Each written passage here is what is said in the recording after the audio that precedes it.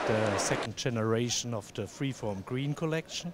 The Freeform Green collection we started last year uh, with a big success worldwide. We get worldwide awards uh, because it's the, the, the Green uh, collection designed to produce it environmental friendly and means we are using less material. We do not solder the frames. We uh, had uh, some production processes uh, to take care uh, to have no toxic uh, pollution and these things.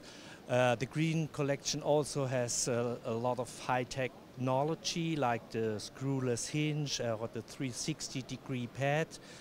This was last year, so the challenge was what to do for this season, for this new collection. And the fashion trend now is a very colorful, very bright color, so we added colors to the collection. Uh, we took the, the old retro uh, colors in a modern interpretation. Now with uh, bright colors brushed. In the old days we had the, the, the, the, brushed colors only, the silver or the gold. Now we have, I have here some samples which I can show you. We have some very colorful and detailed products and this is one of the highlights uh, of this uh, season. Talking about uh, new collection uh, models, uh, which is uh, the must have for fashion addicts?